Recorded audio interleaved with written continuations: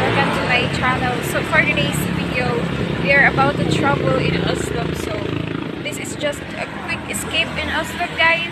See you there.